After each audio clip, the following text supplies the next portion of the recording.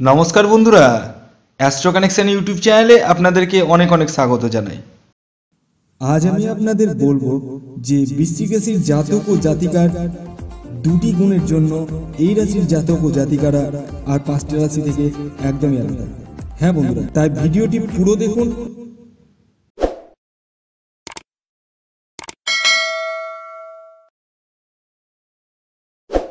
আসুন, শুরু করা যাক।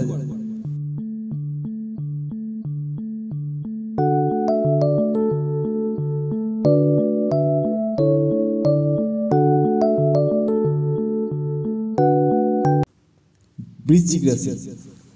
হ্যাঁ বন্ধু, এই রাশির যে প্রতীক আমরা দেখি, সেটি একটি বিছা। তো বিছার নেচার আমরা সচরাচর জানি সেটি হচ্ছে বিছা সহজে কামড়ায় না।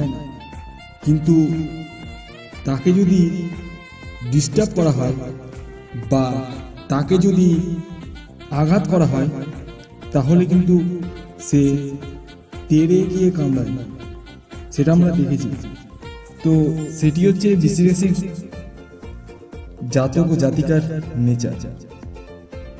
এবার আসা যাক বৃশ্চিক রাশির জাতক ও জাতিকার কি এমন দুটি গুণ আছে। হ্যাঁ বন্ধু বৃশ্চিক রাশির জাতক ও জাতিকার প্রথম গুণ যদি বলি, তাহলে এরা একটু মা মা স্বভাবের হয়। হ্যাঁ বন্ধু মানে মা যেভাবে তার সন্তানদেরকে আগলে রাখে, ভালো উপদেশ দেয়, তুই কি খেলি, না খেলি না, এসব বলে চিন্তা ভাবনা করে।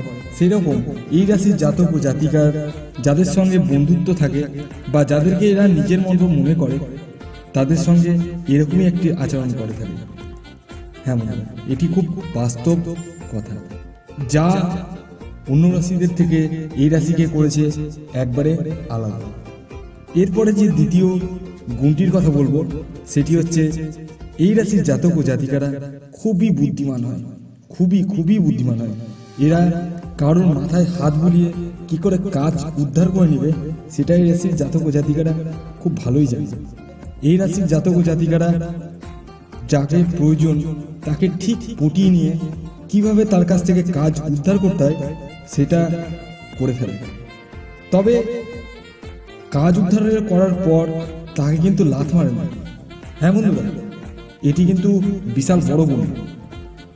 তো যাই হোক, এই দুটি গুণের জন্যই বৃশ্চিক রাশির জাতক ও জাতিকারা আর পাঁচটা রাশি থেকে আলাদা।